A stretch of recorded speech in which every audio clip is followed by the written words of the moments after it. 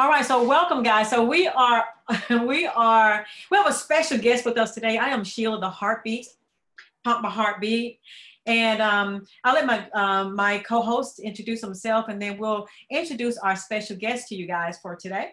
Welcome to Conversations and Situations, everybody. Welcome to Conversations and Situations, another episode. Uh, yeah, I'm excited. I'm Lawrence. Everyone calls me Geo on the show. I call myself Geo on my sh- on the show. so I'm excited for another episode. Excited for a very very special guest, and excited to spend some time tonight yeah. with the um, with the situation and conversations family. Uh, we're a great family. Yeah. So we have a special guest tonight. Our special guest, special, special guest tonight is Barrett Pitner. So Barrett Pitner is originally from Marietta, Georgia. And um, after completing his master's degree in journalism, he moved to Washington, D.C., where he currently resides. With all the books behind him, I'm loving it. He is a philosopher, he is a journalist, he and he is the founder and PIC, which is the philosopher in chief of the Sustainable Culture Lab. Welcome to the Conversations and Situations, Barry. Welcome, welcome, welcome. Yeah. Thanks for that great introduction. I, Absolutely. That, yeah, that that's who I am. Uh, I can say more about myself, but I think that was fine. That was good. We yeah. appreciate we appreciate you joining us. And when looking at the topic, when I first heard about your topic, at first I thought it was going to be about one thing, but once I start to dig a little further, I thought to myself, "Oh no, this is the topic all on its own." And so I can't wait. I'm really excited to just learn everything that you have going on around this topic. And um, and so we're just we're going to kind of get started. Why don't we kind of start, if it's okay, kind of at the beginning? How long have you been in journalism? Oh, journalism? Uh, yeah. I'd say like 10 years. Like I went to North, you know, professionally 10 years. I went to journalism school in 2009. Okay. 2010. And so since then, um, I've been in DC doing journalism in various capacities for like 10 years or so. And, wow. you know, before that before grad school, I wrote and did blogs and stuff. So I've always been interested in writing, but as a profession, about, about a decade. Okay, which is a lot of which which means that you've seen a lot. And so my next question is, considering everything that you've had you've seen and everything that you've had to cover, when was it, or can you pinpoint when was the shift from you um, from just covering what you wanted to cover into actually creating change around our culture? Uh, well, that's a good question. So uh, even as a journalist, I've always um, I've always had like an opinion, and that's kind of like a that's a difficult line in journalism because basically as a journalist your your job is to report the information that other people share with you you know you talk to people you ask them questions they give you information and you write about that right. um, i've always thought that at a certain point like if you talk to enough people and they give you enough information you should be able to like create information to share with other people that's based on that info you got. Like you can right. become an expert by talking and communicating with enough people. And so I think for most of my career, I've kind of like balanced that line. But then in around 2015, I became like an opinion columnist where they just wanted me to write my opinion and not uh, me write the opinions that other people told me they had when I interviewed them. Right. So about so about 2015, I started writing my opinion. And then at that point, if you're going to say what your opinion is, you need to make sure that your opinion um, does something. Because, like, what's the point of saying what you think if you don't want anything to happen from it? Like, what? Absolutely. Right. If you do, if you want nothing to happen, then say nothing. it's so true. All right, so you can kind of pinpoint a little bit. So from that whole um, experience somebody's giving them feedback. So from that whole experience and you deciding around that time that you wanted to, to make a shift, you created the Sustainable Culture Lab, which first of all, I love the name of your company. I love it because it's intentional, it's direct, it says exactly what it is. And um, so it's called the Sustainable Culture Lab. Will you tell um, everyone a little bit about your company? Yeah, so I'm, I'm glad that you love the name because my company is quite complex.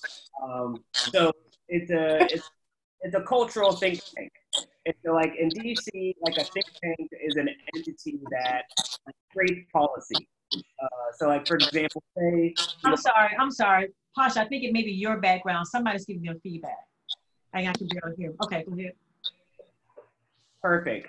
Yeah, better. So, uh, so like in, in, in DC, there's there's this whole infrastructure that are think tanks, and what they do is they'll create policies and ideas, and they'll give them to you know congressmen, influencers, people that make laws. These policies will will help people make laws to make society better. And so this is like a, a, a general thing in DC. But my focus as a as a columnist, as a as a writer, as a journalist, um, I've noticed that America never really did analysis on culture. Like, what's the culture of people defining culture? Excuse me, Posh. It, it's really you. It's, it's your, you're giving me feedback. Okay. You can take it off when you have a question or something, but it's, it's giving us a feedback and we can't hardly hear them. Okay. Sorry. No worries. And so, with these, what I noticed that there wasn't really a focus on culture, and I felt that um, you know we just didn't focus on culture as a society. We would spend a lot of time focusing on race Right. and, and and income and the environment and all these like things that are part of culture, Right. but like come off of it. It's kind of like if you're looking at a tree, we'd have all these things, and they were like focusing on branches, and no one's focusing on like the roots or the Mm. trunk. And Mhm. so I felt that there was a need for a cultural think tank. And so we do a whole bunch of stuff uh, that focus on like analyzing culture and articulating culture and using culture as a way to articulate the problems in our society. And so, like, a key thing, and this is where it gets complicated. So, I'm glad you like the name because there's a lot of stuff going on. But, like, your culture is it's many things, but it's a big thing. It's the words that you say. Right. You know, like, like the culture of someone that lives in Switzerland is going to be different than the culture of someone in Ethiopia. Right. And one of the big differences between their cultures is they have different languages. And so, like, I think the US has a culture that I call ethnocidal. I think it's a mm-hmm. very de- detrimental type of culture. And I think the words we use, the language we, we, we, we have, is one that actually encourages ethnocide and encourages this negative stuff to happen. So, a big part of That culture that that word ethnocide. Yeah. That's exactly what I want to talk about. Yes. Hold on a second, because I, I want to talk about it. So I'll let you ask your question in just a moment. So my question before we ask that question is, is your um is your message to the people in the culture or people who are trying to understand the culture better? Who who who are you directing? Or is or is there a direction? It's both. It's both Okay. because, because we're all in the culture and we don't know that we are. So it's kind of like say say like uh, say you're visiting. You got a friend that's visiting Atlanta and Mhm. they've never been to Atlanta before. If they're in the middle of a street and they don't know where the shop is around the corner, they need someone that gives them a word for like where they are and where they need to go, but like they're still in the same place. Like they're in Right. the place. Like they're in the environment. And so like I think America in many ways people are in that environment, but there's just not a language that encourages them to know like where they are and what it's called and where to go. right. And so so it's like that. So it's both. I got you, got you. Okay, IQ. I think you were going to ask about ethnocide. If you're going to, are you going to ask about the definition? Because first we got to ask that. No, I'm very familiar with the I'm very familiar with the definition, So but I don't think on. So I don't think on. most people are. That's what I was going to say. Before you get into the word, let's make sure we understand what the word means. Because I, I, were, I was not at first. I had to actually look it up. I knew the word side means to kill or destroy or something like that. So, but I wasn't necessarily sure. And so, Barrett, will you tell us a little bit more about the word ethnocide? Yeah. So, um, so the, the history of the word is that it was created in uh, 1944 by this Jewish immigrant to the U.S. named Raphael Lemkin. Okay. Uh, left, he left Poland to come to America so that the Nazis didn't get him. And while he was in America, he wanted to come up with a word he wanted to tell like the American government, the military, like what's happening to his people, so that America could go and like prevent it. And Americans just didn't believe that this was happening. They just didn't think like the Germans were could do something like that. And so Lemkin said, "I need to make a word." And so he made two words. The first word is genocide. Okay. And genocide, genos in uh, in Greek means um, like uh, people, people, nation, essentially. Um, but he also made this other word, ethnocide, which Okay. means culture, nation. Because if you really think about it, like a type of people become a type of people because they live in the same place. okay. When they're living in the same place, they also create a culture. They also create like a government system or like a nation. They give that place a name. And so those words like overlap. Um, and so he thought they would be interchangeable. And clearly that just didn't happen. Genocide became the word that we know, which was the destruction of people or the forced removal of people. And, you know, it's an international atrocity. It's a big deal Right. uh, uh, ethnocide was forgotten in around 30 years or so it kind of got popular or more known in english when applying to indigenous people. So like if you got like a native american and you took them out of like their tribe and said we're going to make you learn english stuff. We're going to make you become like you know you know was they wanted to kill the savage and keep the man. And so like we're going to teach you how to not be a savage by learning english right. Exactly.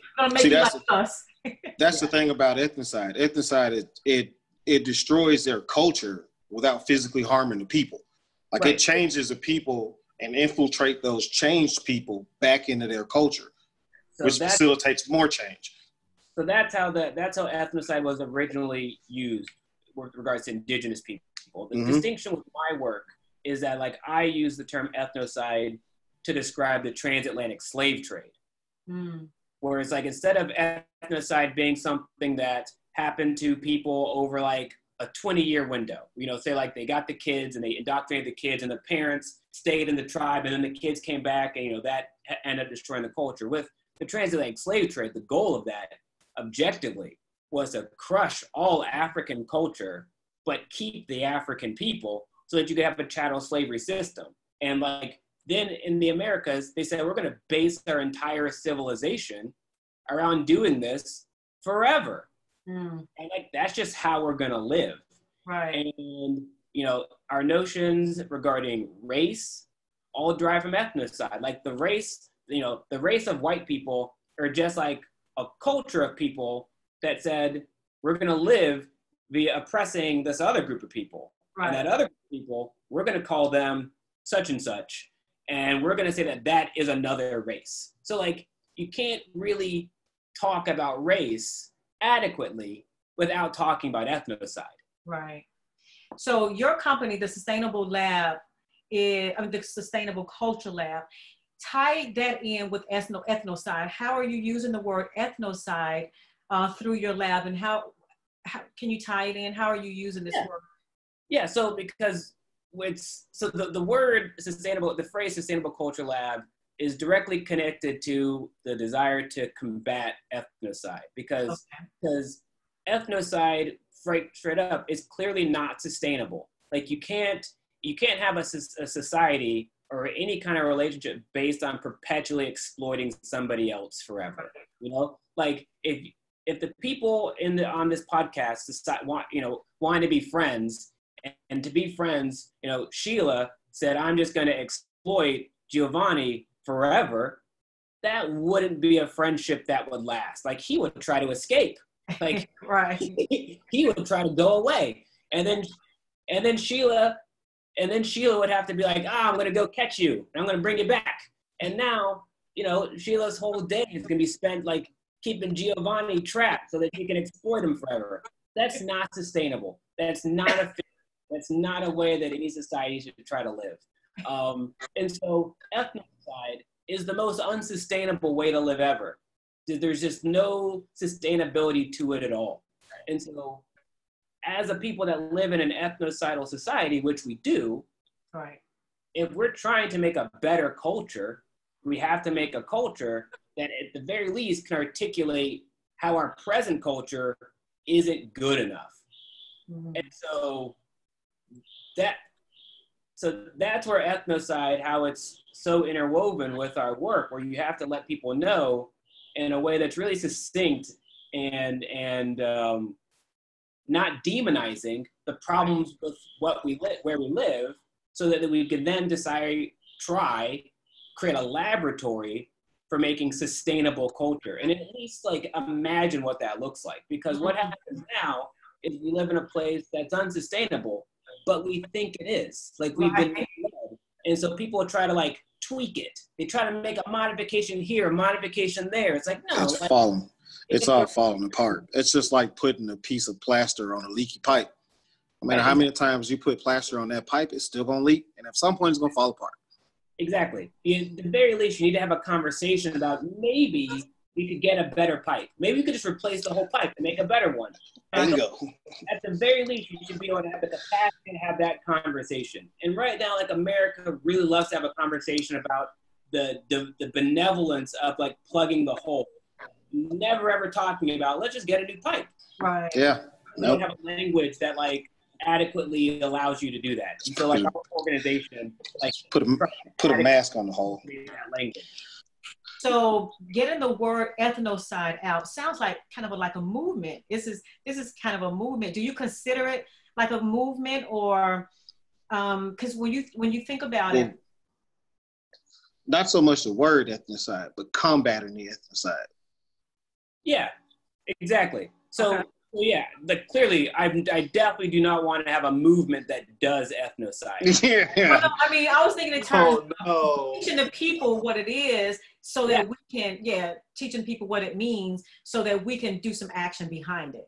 yeah, hundred percent. Like you know that the, the point of the word that using the word and you know like to be honest with you like Lemkin coined it but like I actually like created it and then found out he already made it like Mhm. as a writer I was trying to write ways to describe our, our systemic oppression and whenever I would talk about race people just it, something was missing I couldn't they couldn't get what exactly I was trying to say. And then you know at some point you know we had one of those light bulb moments. It's like it's not a racial question. It's a culture question. It's culture. Boom boom boom. And so so i definitely think that this is uh these are words that can be like foundational and strengthen like the movements that are already happening. I think black lives matter is clearly a, a fight against ethnocidal oppression. Like a hundred percent you know the problem for for you know i hate to i don't want to talk bad about myself but like i'm just not a person that wants to be on social media all day. I'm Mhm. not a person that loves going around and saying oh look at me i'm great. Listen to me. Here's my opinion. Talk talk talk talk talk. Like that's just not what i'm good at. And i got like too much like business organizational stuff to like do to like be that person. So Okay. Luckily for me, I got people that like on my team that like really care about the work, and they'll say, "Oh, I found out about this podcast, Barrett, that you've never heard of. I think you should be on it." And I'll say, "Cool, I trust you. I got I got a time on a on a Tuesday to do this." And so, yeah, I definitely think it's a it's a word that can empower our existing movements. Lawrence, I, I think that is very important that you brought that up about the point, like just not talking at people, talking to and with people, because I think a lot of influencers and people who motivate other people and speak to other people, they tend to forget that if people don't move with you and your message, then they become lost in the sauce pretty much. And it's not fair for you to give out all this advice and you just you just as a speaker you just talk and you never move the people that move with you Mhm. Yeah, and it's, it's, it's, I totally agree. But the key thing is like for language to matter, like it should matter regardless who says it. So like if the words that I, I'm saying only have significance when I talk, then like my words are kind of trash. They just stink. And so, i so agree the key thing about ethnocide as a as a word is I think it, it, it- the meaning of it and the understanding of how pervasive it is matters regardless of whether I'm saying it. Like clearly, I hope if somebody else says it that they're redirected back to my organization because we're devoted to like this work and it will help us do this stuff. But like I'm not talking about ethnocide because like I need attention or I want attention or I need people to think that I'm like good or something. Like that's irrelevant. Like I don't care about that. Well, you're good anyway. We met you, so. I love the idea. I love the fact that you actually gave the word ethnocide a voice. Like if it's been around for you know for a long time, but we've never heard of it, then it having a voice. I love the idea of you giving it an actual voice. And there are probably. I'm sorry. Go ahead. Oh, I know you. I, I was. I've literally only heard that word once in my entire life before today. I've never heard that word my entire life. And that's why I was. That's why I was familiar with its definition, and it intrigued me when I saw it. And I was like, well, this I have to know. It's the same thing with like I want to talk about that. I want to because a lot of people don't understand the differences either between utopia and evtopia. With his right. With he, yeah, well, he, yeah, we're gonna we're gonna talk about that too. Um, I did, but before before we get into that, I wanted to ask him about um, uh, what was I going to ask? Oh, so I know there are probably a gazillion ways because when people, when things are done behind the, systematically, they're done behind the scene, and people not, don't necessarily see it because it's done just like that. They don't want you to see it. Can you think of some ways that maybe if someone is not thinking that, well, you know, what do they actually mean? What what's being done to us behind? What, what's being done systematically? Yeah, like they're everywhere. It's everywhere, and yeah. so and like this this leads into Evtopia because once I tell people how ethnocide exists, everyone just gets real depressed, and then they're like, "What's the alternative?" Like, all right, well, here's another word I made. You know, here's here's the one to make you feel better. Um, but so a, a, a, real easy example is gentrification. Gentrification oh, just, wow. and this is this is why. It, if you live in a society, it's based on sustained division, where like you literally you got you know, there uh, one group of people, European colonizers, gave themselves the identity of being like the white race, so that they could never be confused with the African people whose culture they worked to systematically destroy and brought to America, to the Americas, to oppress in perpetuity. If you make a society with division at its foundation, you're going to create a government, you're going to create structures that just aren't going to allocate any resources to black people, to African African people. That's just the system is just going to be structured like that. But you also can't let those black people live far away from you because if they live far away from you, you can't exploit them. Yeah, absolutely. So, so like if you need to use black people to come into your house to cook your food and take care of your kids and like you know deliver your mail and mow your lawn, those black people can't live far away because you don't want them to like it, like they might not show up if they have to find out that they're free or something. you know, or they might, or they might might just not come back. They might they right. might we prefer to live another way. Absolutely. So you gotta like have them live next door. And so yeah. what ends up happening is the black people in the south. The south is a great example because they literally have train tracks. Like the whole phrase, the other side of the tracks are like they made a town. and the middle of the town has a dividing line. That's the railroad. And these railroads the South made to Tallahassee, Florida everywhere. But the, but just yeah. think about it, the railroads, the railroads that exist in the South were created so that they could move the goods that slaves created. And so, yep. like, the dividing line of the town was, all right, this is a line that was created because this is how white people get money. Like right. all the stuff that black people created for free, enslaved. We're gonna make a, we're gonna make the railroads. Atlanta is terminus, the big intersection of all the railroads. Yep. That's the middle of the town. And on one side, all the white people who get the money from the railroads get to live, and on the other side are the black people who don't get any stuff from the railroads. You know, and they just live there, and then they cross the tracks to go work for the white people. Absolutely. Uh-huh. So just the structure of the towns is ethnocidal. Like there's no like if you go to Europe or go to any good country that people like to visit, the middle nope. of those will always be like some big cultural gathering space. It's like a town square, yeah. Or would be like a church, something that everyone in the city just goes to all together. Yeah, there's no blatant systemic separatism. Yeah. Like outside know, of this country. In this country, systemic separatism is blatant. It's everywhere. Macon is another place. Macon is another place that's separated by train tracks. If you go one one side of those train tracks in Macon, it's a beautiful place. Hospitals, stores, all kind of stuff down there. Simply cross the tracks, and yeah, it's a completely different place. Like that all across America. If, like, mm-hmm. Um, like, have the term "the other side of the tracks" to how pervasive this is. you know, and the other Oh. side is with, with bad people, you know? And Right. so, so this goes to language, but just to, I'll go quick and say like how it is, how this manifests today with gentrification, okay? Because it, the train tracks aren't necessarily the divider, but the, the structure is there. There's one group of people that are in a city to be exploited and to get zero funding or protection from the government. And there's another group of people that are there to exploit and get all the stuff from the government. Yeah. At some point, capitalism makes it harder for white people to live in white space.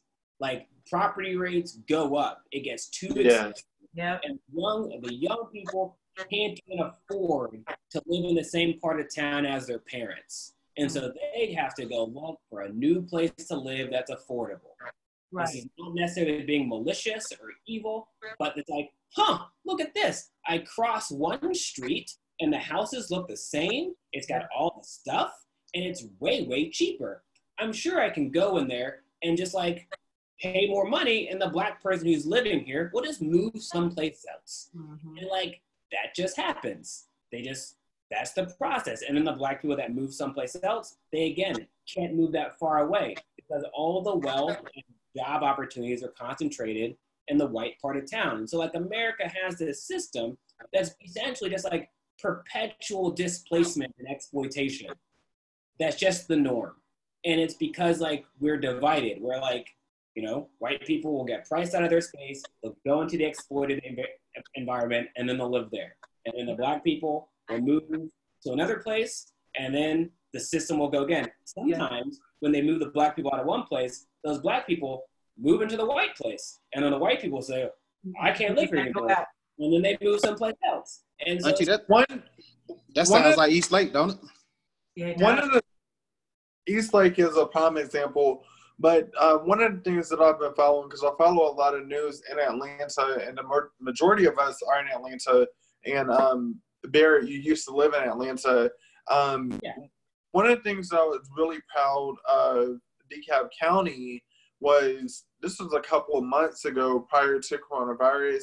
Um, they actually banned the uh, banned new permits for um, creation of dollar stores because in the news articles um, the dollar stores was actually creating food deserts in um, low income neighborhoods Yeah. That goes back to gentrification. If you go to an all black neighborhood you don't see any fresh food stores you don't see any fruits and vegetables anywhere. Everything is a dollar store or liquor store or a hair store. And it's not it's not bad but also we deserve great things in our neighborhood. We shouldn't have to travel to in the city or we should have to travel to alpharetta or somewhere else to get just basic nice all- quality it's all foundational to ethnocide. Like they, they, Yes. society can intentionally create it in a part of their community that they, on purpose, want to deprive of services. And so, due to that, say you're a business, whether you are a business that's racist or not, you're looking for a place to get money and make money. You are going to be disincentivized to move into an area that is intentionally being deprived of services. It's Those true. people will not have the revenue to make you a lot of money. Yep. Yeah. You'll go into the area where people have way more money than they know what to do with Mm-hmm. because they're just getting like all sorts of money from these exploitative structures that in many cases like they don't know are exploitative they just know that's always been the norm because we've always been ethnocidal and so like when you talk about it it not only does it make like black people acutely aware of like ah i can actually use this one word to describe all these systemic oppressions that happen and then white people can say i can use the same word to describe all of these uh, systemic oppressive structures that like I'm a part of, but I didn't necessarily make. I've I've contributed to without necessarily knowing that I was doing it because there wasn't a word to tell you. Like if you're doing something bad, but the word bad doesn't exist, you're gonna keep on doing bad stuff. Right. And so Let me ask you this: What about what about? Do you think that the leaders of counties, cities, states their education on ethnocide, do you think that them being educated first and then it trickles down, or do does does it even matter where it starts? It doesn't matter where it starts. Awareness and education. I mean, Yeah, it doesn't matter where it starts. Like, we're, we're talking about Georgia. Like, right? is not going to do a good job in any way of educating people about race or racism. And like I'm from Georgia, and like and, and it's, it's for some people it could be that they're just like sinister and they they want to like spew like lost cause pro Confederate propaganda. It totally could be that, but Right. there's plenty of Georgians who genuinely just you know the white ones that genuinely just don't want to believe that like their great grandparents were like really bad people. right. Like that, like that's an emotional bridge that they just don't want to cross, and, Right. and I totally get not wanting to cross that. But that's going to impair your capacity to educate people. Mhm. So, so like, no, I don't think the systemic structure of Georgia is equipped at all at like teaching people this type of stuff. I think, I They think, don't want to face it at all. I, I think. And see, that's that's the thing. It it's true. They don't. There are a lot of them that will not cross. They will treat that bridge like it's not there. Like that. Like your grandfather didn't own 36 slaves. Nobody. It it doesn't matter if you refuse to not cross that bridge. Doesn't mean that bridge is not there. Bridge is still there. Your Yeah. grandparents were still bad people, whether you want to recognize, acknowledge it or not.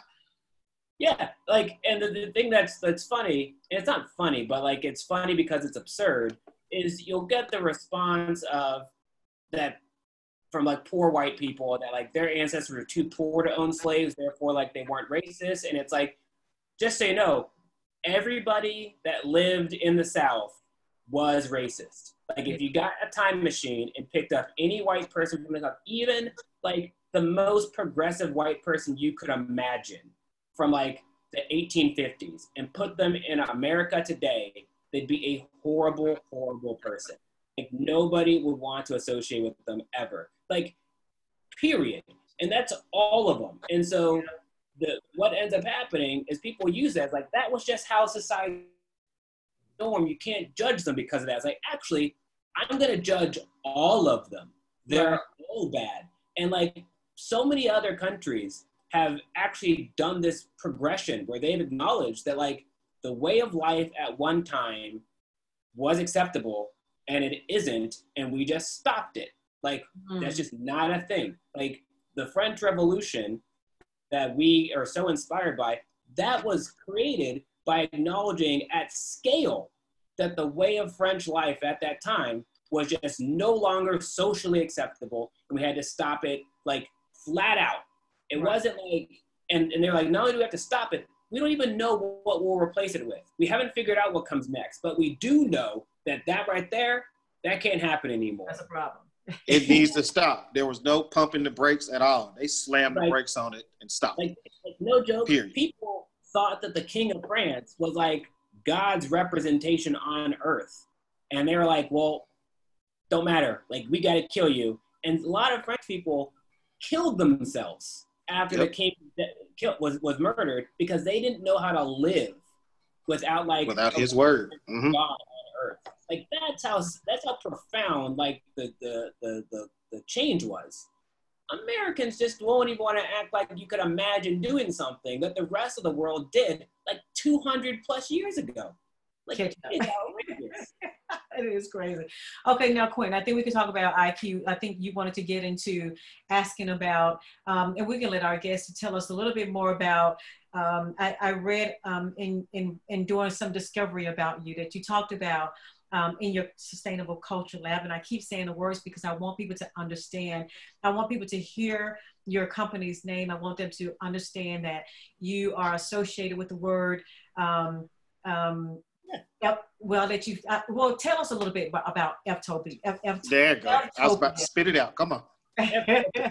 Cool. I'll talk about Evtopia. I'll give a quick plug to my organization. Like you said, it's the Sustainable Culture Lab. The website is scl.community. And we have a newsletter that you can subscribe to called The Word. And we send you a new word every week to Hmm. like enlighten you. And it shows up in your inbox every Sunday at 11 o'clock. So, you know, AM or PM? AM. AM. Okay. AM. Yeah, like we ain't we ain't trying to get people right before they like go to bed on a Monday, like before Monday before work. Right. Because once Sunday night rolls around, you're in the mood for Monday, and Now that that would be one of the worst times to send a newsletter. 11 p.m. on a Sunday. I'm Right. speak for yourself. I'm never in the mood for Monday. Monday sucks. I don't like Mondays. I've always told people if you can get through Mondays, you can get through any days of the week. Mondays are the hardest days to get So the through. goal is that you get it on Sunday, and that that that enlightenment, that information, can like boost you for Monday Mm. I like that. I like that. for the week. All right. So Ftopia, Ftopia. Yes. So Ftopia means sustainable good place. All right. Okay. We made the word. Like actually, some other people like the word exists because it's really easy to like create, but we like change the definition. Kind of like the same thing with ethnocide. We're like we use the definition, but we applied it in a way that like no one's done it before. Mhm. So here's a story about Evtopia. The word utopia that everyone knows about, like, you know, a utopian place, something that's good, that word's a total joke. It, it, it doesn't mean what we think it means.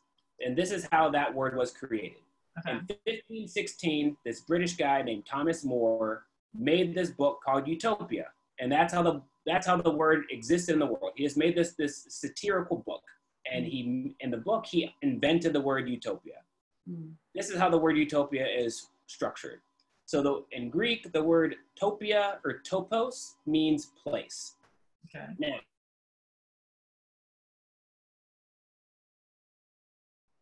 Uh oh. Barrett, I think you're frozen. exposure Barrett, Barrett, non-existent. Barrett. When I break up, Yeah, Uh-oh. yes, you did. uh-oh. Okay, like when you're back, can you go Okay, I can repeat that. please? Yeah, I'll repeat it. Am I back? Am I good? Or am I Yes, you're frozen now? You're good. Okay, so uh, maybe somebody in my house got on the internet or something.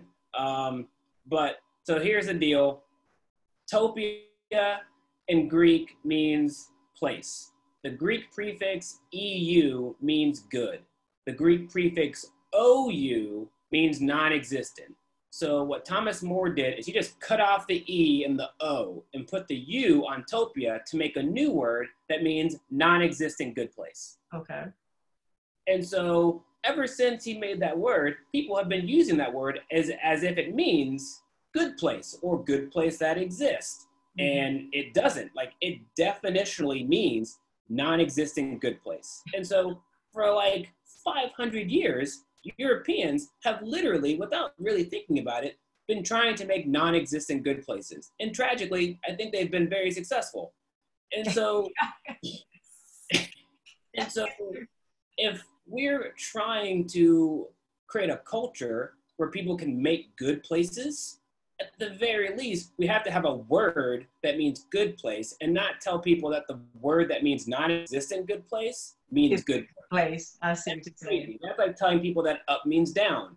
You know? Right. Like, doesn't make any But sense. you, right, but you know the masses, the quote unquote sheeple, they'll never dig that deep. Like they'll take that word utopia because they heard it on they heard Yeah. it on TV or they use it on Facebook and they'll take it and run with it because Yeah. they heard it on the internet. Yeah, totally. But that's that's just people. Like I don't I don't really expect people to you know do everything that I do, and I don't think anybody should expect everyone to do what they do. Like, and this is gonna sound this might sound arrogant or something. It's not intended to be, but you know, like when I was in school, like I would make good grades. That was like a thing that happened.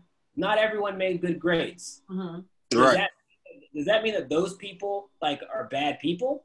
No, it just No. means this particular thing I'm I was better than them at it. No big deal. But there would be plenty of times where like someone say, "Hey Barrett, there's a person that needs like tutoring in math.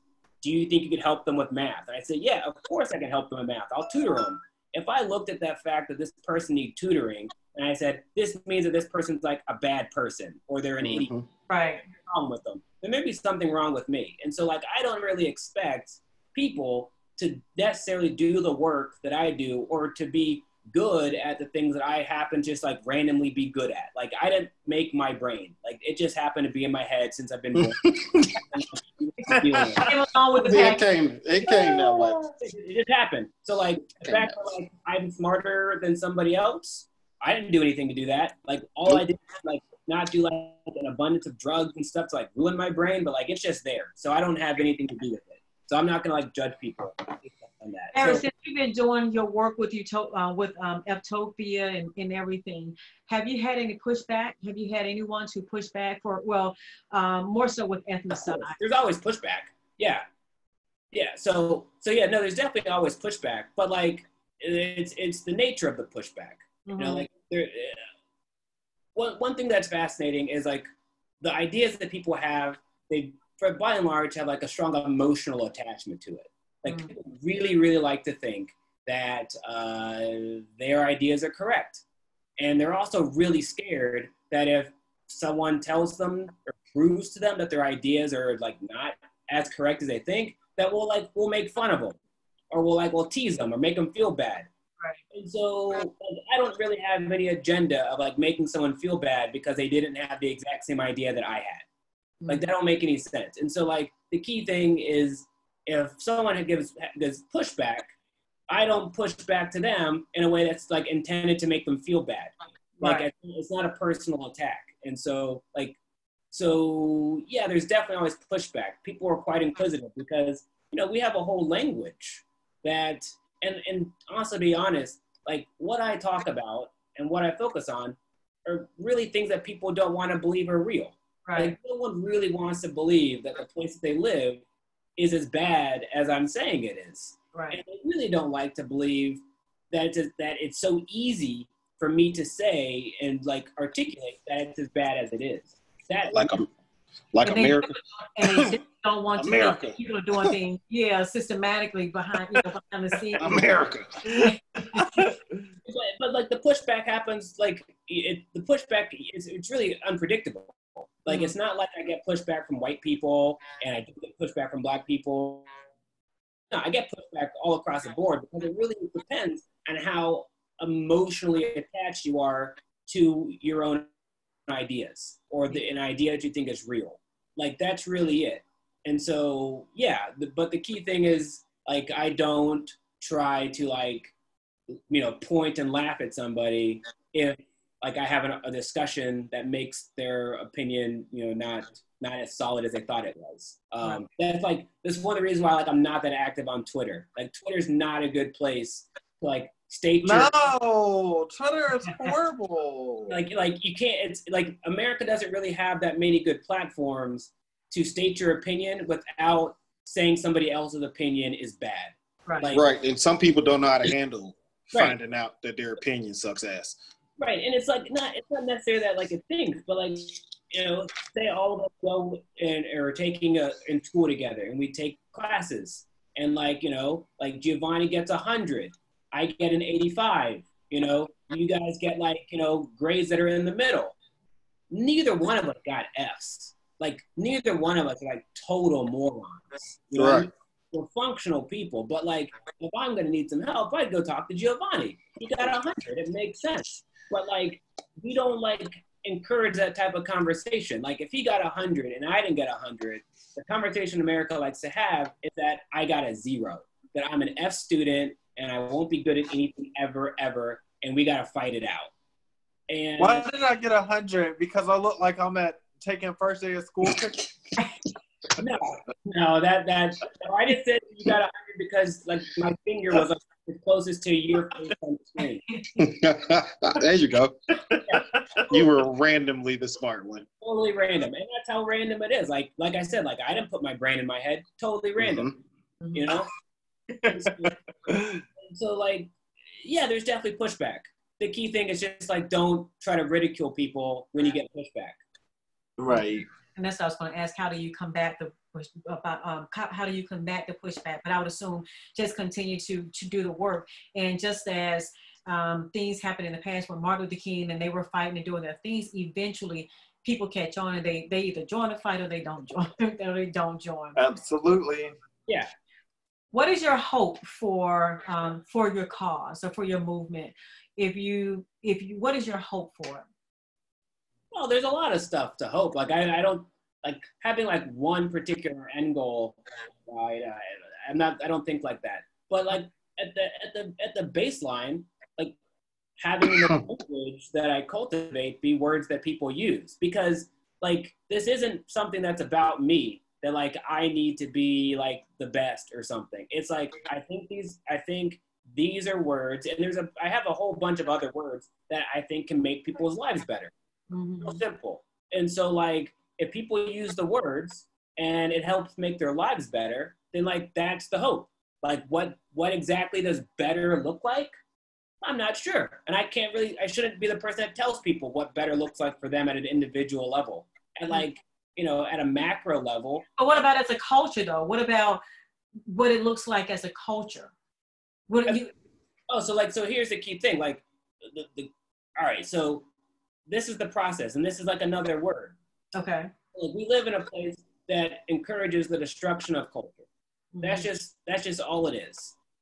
So what you have to do is start creating structures that create culture, not structures that just allow you to survive within a destructive culture, but mm-hmm. stuff that gets you to like change the dynamic.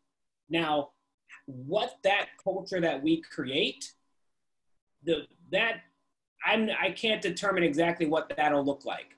But like I do know that the culture that we have right now is one based around justifying perpetual division. So like one thing, like a project that we're working on at SCL, you know, that's why that's why I call it the Sustainable Culture Lab for sure, SCL. And mm-hmm. so so like one of the things we're working on at SCL is um, the Altars Project. It's now going to be a festival. And so like, are you guys familiar with like the the Mexican tradition of Day of the Dead. So, so Day of the Dead is it's it's fantastic, and a lot of indigenous people around the world do similar rituals. It just so happens that like Mexico's right next door. There's a lot of Mexican people in the U.S., and so like this iteration of this fairly universal ritual is really big in the U.S. because of Mexican people. So Day of the Dead is October 31st, November 2nd. And what they do, they will make altars to remember all of their loved ones and people that they care about who have passed away. Mm-hmm. So, I didn't hear what you said. They would make what? Altars. Oh, altars. Okay. Oh, okay. And so, like you, you'll go into a Mexican house during the month of October, and there'll be an altar erected at some point, and it'll have photos. Yeah, the photographs and knickknacks, stuff yeah. that belong to old passed away family members. Yeah. oh yes and they'll have a they'll, they'll, have like a party or a dinner and they'll invite uh-huh. people over and people come over and those and the people that come over are encouraged to add stuff to the altar. And then you have like this really profound conversation that you talk about because like you don't normally talk about people that passed away. Like that's just like not a thing that happens in like casual conversation. Right. Like, right. at this moment though you do. You get to talk about like your grandfather or your uncle or a friend of yours that passed away that you never really get an opportunity to talk about. You get to do it like with your community. And so like people cry and as they cry, they get like communal support and it's really therapeutic, communal, communally strengthening idea that you get to do every single year, mm-hmm. every year. And so as an African American, I first participated in Day of the Dead and it just like blew my mind. I was like, this is something that the black community definitely needs. Like we have all these conversations about like generation and like we talk about generational trauma and that we need to be aware of it, but we don't really have like cultural structures right. allow us to combat it. We just know that it's there. Like right. if you create an annual thing in your house where you collectively get to deal with generational trauma and the and loss, that would be really healthy for the black community. And that'll be something where you're actually creating culture and not creating structures that help you to survive within perpetual cultural destruction. Mm. So, so like we have this project called the Altars Project, Altars Festival. I encourage people to do it. You know, we'll be doing a, a, decent amount of stuff in like the months to come about it. That like just make an altar. Like it's a very simple thing to do. You don't have to make an altar that looks like a Mexican person because like it doesn't make any sense to say, hey, black people or Asian people or white people. I think you just spend three days talking about your ancestors, and while you do it, pretend your house is Mexican. You know, like that just, like, that just doesn't make any sense. Just Yeah. like pretend pretend to be part of another culture and then go talk about your family. That's Mhm. absurd. So Yeah. you can make an altar that looks like how you would like an altar to look. You I know? like that Make a actually. black one. Make up your and so like this is like this is stuff that we do to create culture. Mm. Now, clearly, like when you talk about pushback, I get pushback for this idea all the time because people, since we live in an ethnocidal place that's based on taking the culture of other people and making money off of it, people think that I'm advocating that we take Mexican culture and make it a black thing, and that black people can get a bunch of money off of Mexican culture. And it's like, no, no, no, no. Like that's not the goal. Like I want Mexican people to do Day of the Dead all day long. I want that to be to continue to be a thing that's vibrant in the Latino community, the Mexican community forever. You know, the indigenous people have been doing that for thousands of years. Do Right. it. But like there are neighbors and there are African traditions that are similar to this too that were stripped away from black people because of ethnocide. So Mm. we need to do this too Mm. we need to do the culturally affirming things that let us strengthen our culture instead of just creating things that help us to survive while our culture is like repeatedly destroyed. And Yeah. so, so like that's the you know, so that's you know the hope. One of the hopes, I guess, Yeah. to answer the question is that this Altars project, Altars festival becomes like a thing that actually happens, like and grows and, Right. and helps people. Because to add another layer to it, like it happens October 31st to November 2nd Mhm. every year. America's national elections are the first Tuesday of November every two years. So, like this year, the national election is on November 3rd.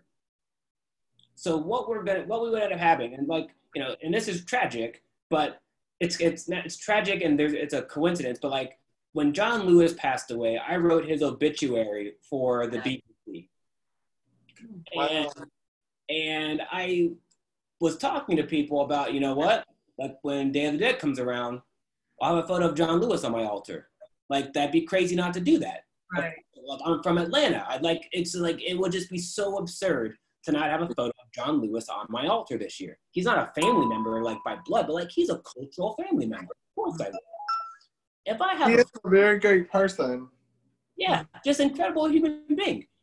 If I have a photo of John Lewis on my altar, that's I'm looking at every day. It would probably make sense that the day after Day of the Dead, I would make sure I vote, or I would vote during early voting. Like I genuinely think like this Day of the Dead has the possibility of like boosting black voter turnout to a significant degree. Like if you got black people for a month making altars, talking about what's important to them, doing things to strengthen their community, deal with with, with systemic trauma and loss, and then they say this is also combined with voting? And like you now have the opportunity to like vote on behalf of your culture that you've been spending time and now like you know if you if you have a if you have an anniversary a day of the dead type thing at your house like the grandparents are going to invite their kids. And then mm-hmm. they're going to invite and then the and then the kids are going to bring their kids. And now you're going to start having conversations about Right. like what life in america was like for your grandparents in the 1950s And then it really becomes Black history a fun because but like we- it's something you need to have and that'll probably influence how people vote hmm And so, so yeah, so one hope is this Day of the Dead project. That's a that's a clear one, and I think that's one of the things that creates culture. And for that term, we use uh, we actually use two. We use the word ethnogenesis, which means the birth of culture. Genesis is birth, Hmm. um, but we also use another term called cultural naissance. So it's like the word renaissance, but we took the re because renaissance, the re means re. So renaissance means rebirth. But like America is an ethnocidal place. We shouldn't be trying to rebirth American stuff. Like we should be trying to birth new stuff. Yeah, we don't want to American. remember. That's for And so sure. by saying cultural naissance, I think it provides like a linguistic reminder to people that we're not rebirthing anything. We're birthing something new. And now I need to allocate time to think about like what does something new look like? You know, it kind of goes back to the the point at the beginning. Let's imagine like just getting a new pipe. What would a new pipe look like? What would I like this new pipe to be made of instead of just thinking about let's uh, plug these holes all over all the time, you know? And So yeah, that's a hope. I would actually be interested to even know what other cultural or traditions that we were that were lost during um you know during slavery and during the time when we were brought over from um, Africa. Like what are some things that you know that that probably That came is it. yeah I would have I would love That to. is a massive, massive list. It's like it's it's it's it's a it's a list so big that your brain. It's a Yeah. massive, massive Imagine list. so. You know, but one I- there's a, a, a cool book that I would recommend reading. It's a short one, which is fun. It's called Prince Among Slaves. All right, and it's a story, and it, it's there's a crazy story about how but the story is about an African prince who was kidnapped and sold into slavery and taken to America. But during his time in America, due to various things occurring, he was able to gain his freedom and go back to Africa. And so the book Wow. his story, like the crazy thing. And so, you know, I'm not, I don't want to spoil this book, but like when he went back to Africa, he went to Liberia, and Liberia was a was a, a colony. Like when America didn't want black people here anymore, they're like, we're gonna go colonize Africa, and we'll just give an area in Africa for like, you know, enslaved people to go live they want to go live there, because we don't want them in America, because like once they stop being enslaved, they're just a nuisance. So. Um, and so Liberia was this place that was created by uh, formerly enslaved black people in Africa. So like if you bump into Liberians, they'll have names that are like Bill Jefferson, you know, Mike Williamson. That's not an African name, you know. Uh, and so, anyways, this guy went back to Liberia, and so I learned about the story when I was at Northwestern. I bumped into one of his ancestors who was from Liberia, and this Liberia guy did all this research and found this book because somebody else had heard about his, his ancestor's story because it was all published in the paper and stuff. And he went back to Mississippi and found the ancestors because when the guy went back to Africa, he didn't have enough money to take his whole family. So half of his kids stayed in America and half of them went to Liberia. And so he has a whole group of like Mississippi relatives that didn't even know that this was real. Wow. Like it's crazy. And the thing that's funny is when the not funny, it's all tragic. But when the prince was captured and he got to America, he was talking to all these white people. He's like, "You guys don't understand. I'm a prince. Like I'm really, really rich. Um, I know you got your farming and slavery stuff over here, but like if you want money, just send a note back to Africa on a boat. Tell my dad that I'm here, and he'll send a boat filled with more gold than you can imagine. And we good." and all these white people thought it was like a, a stupid joke. They're like, "There's no way there's rich people in Africa. Gold, get out of here." And so the the English name that they gave him was Prince. They just called him Prince as like a joke. Ah, he's a prince. Ah, look at that prince in the field. You know, like picking the cotton. Look at that prince. And so this guy then named his one of his sons Prince. And so the name Prince like came, descended through the generations. And to this day, there are Mississippians in this family line whose first name are Prince, and they didn't know that they were Prince because their ancestor was actually an African prince. Like- Mm, that's interesting. Talk I re- I remember that. There's also a movie about this book.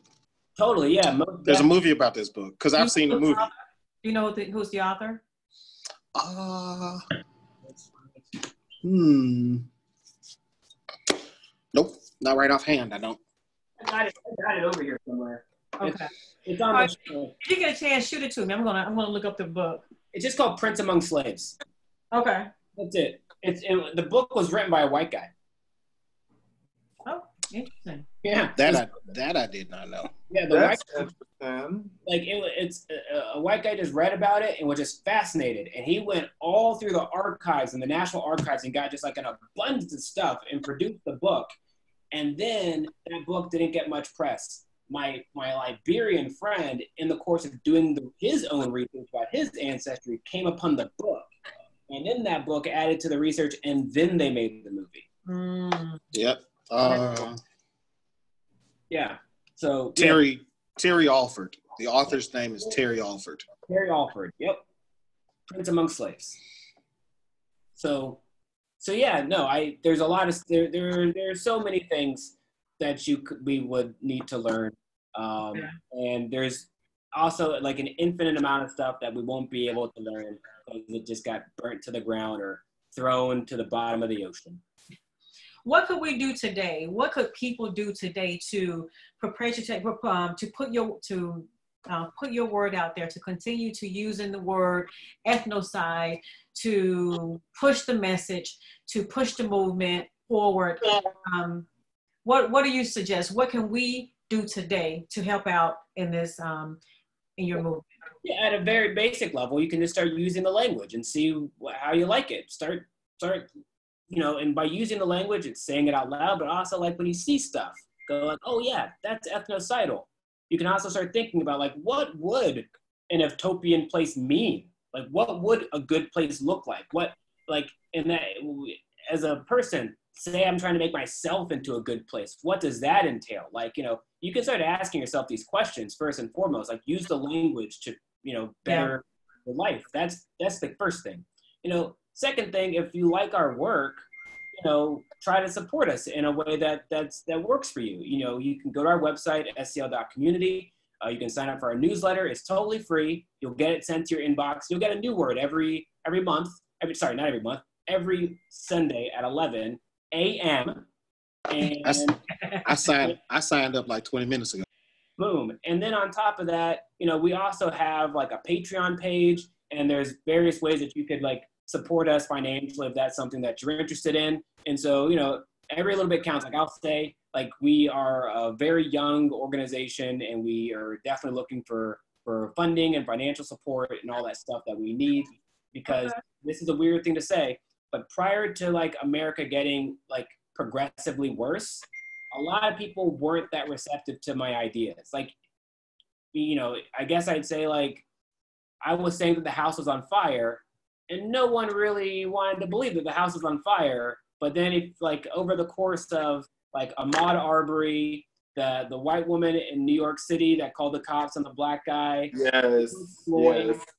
Once that once the, the sequence of those three events happened, people were like, I saw I think stuff's on fire. There's this guy that I've been saying is crazy.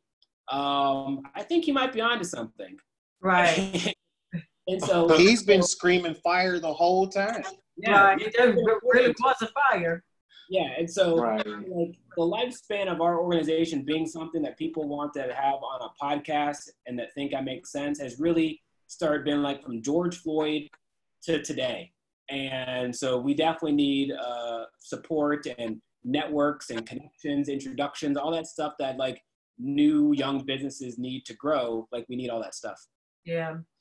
All right, so is there anything that you want to mention that we did not ask? Anything that you want to share? How, how can people follow you on social media? Oh yeah, that's a good thing. See, so there's all of our stuff. It's a sustainable culture lab. So our our, our URLs are, are, are SCL underscore community or SCL dot community. Um, we also S- have. Go ahead. SCL community. Score like the line community. Like URL is SCL dot community because we didn't want to have dot com because like it's well yeah. It looks like it. You see my face is on it. So there's a there's a yep, that's me. All right. SCL underscore community. That's on Instagram. We have LinkedIn, Facebook. Oh man, my internet's unstable right now. Uh, but no, it's SCL underscore community or dot community. We have LinkedIn, Facebook, Twitter, uh, Instagram. We also have a podcast platform that's okay. SCL Radio. You can nice. find, you can find that on Spotify, Apple Music, all the stuff. Uh, like the only thing that I that I would add, you know, I think we covered a lot. There's tons of stuff I could talk about. You know, I do a lot of this work, but I, if I answered all your questions, that's all I really need to add. I've told you guys how to find more out, find more stuff. So yeah. All right. Well, I think it was, I, I, learned a lot. I've learned a lot. And I love uh, new things. And for those people who may not be able to get out on the front line, like for me, I would have loved to done, um, to, to walk with the Black Lives Matter, but um, I, um, I'm high risk. So I did not get out, but doing some other things like this, spreading the word, giving to the cause, you know, just doing some other things, I, I want to be involved. So if you're able to get involved, if you're not, even if you are able to get involved on the front line and going to the Black Lives Matter and doing some other things, this is just another way that we could, um, we can get the message out that we can fight and, and fight for our culture and, and everything else. So, so actually, uh, the thing I'd like to add is, is addition, adding on to what you just said. Mm-hmm. I think a big thing about like the black community right not right now but like historically is that we, we have a narrative that you create change yeah. by activism by actions mm-hmm. but like what really creates change is the philosophy and the language that precedes that action okay like like yeah. martin luther king his actions made sense because he had a philosophy that he called nonviolence that he learned about by researching Gandhi in India and, and modifying Gandhi's practice to be the British colonial forces and applying it to the US. So like, I think we need to realize that there's so many, like, so many African Americans right now want you went out again. And I think the narrative for far too long is that the only way to do. How about now? Am okay, I, you're back. Okay, perfect. I think for far too long, the narrative for how to make change as an African American in this society is by activism. And mm-hmm. there's plenty of people that can't be like that activist that's in the street all the time, whether right. health issues, whether due to like financial situations, due to various things. That's just not something that's at their disposal. But cultivating the right language, right. having the right philosophy that you can articulate what you believe in, what you what you would like to be able to do, why you're like why you can't do that iteration of activism, and that your activism is maybe making an altar in your house, or right. your activism is maybe talking about ethnocide or, or, or envisioning or talking about what Eftopia is. We have to like really be clear that what makes the change is the philosophy that precedes the action, and not everyone is going to be able to engage in the action. Like you know, one thing that I think about quite a bit is like my parents grew up during the civil rights era, but they were like middle schoolers, you know? Right. Middle schoolers, well, yeah. Middle schoolers weren't able to walk on the Edmund Pettus Bridge like John Lewis. Like, if my parents were on that bridge like John Lewis and got hit in the head, they just would have died. Like, mm-hmm. that doesn't mean that, like, my parents as black people don't care about civil rights or don't, or don't have like a good philosophy on how to make life better. They just literally couldn't engage in that iteration of activism. Right. Like right now, everyone there and do it. Not all of us are going to be able to. So we need to make sure that there's a language, mm-hmm. a philosophy that makes sure that everyone feels that they're part of this process, even though they can't exercise it in one specific way. Right. I agree with that. Definitely. So I, part of the goal of the Altars Project is we view that as like an activism that like everybody can do. Like you can do that in your house. Mm-hmm. You, know, you don't have to go anywhere. You can make that, you can cultivate that, and you can do that every single year really easily. I'm definitely going to look into that. I will look into that this week, and I will give you an update on how we are doing. I'm gonna kind of. Yeah, you got my email. You can. Yeah. You know me. Yes, that's right. We're cool now. I will push it out to you. I'll let you know, and I'll keep pushing the word out and trying to use the work. I'm, I'm going to figure out how that how I can um, when we have our shows and how can I continue to use the word from pushing it. Yeah, so. me an email. You, you All right. And we should have him back, honestly. Yeah. yeah. Yeah, yeah, we'll do that too. Well, thank you so much for joining us again. I really learned a lot. I appreciated the conversation, and um, that is all I have. I just wanted to uh, thank you again for for joining us and enlightening us. Yeah, no, thanks for having me. I had a great time. All thank right. you so much.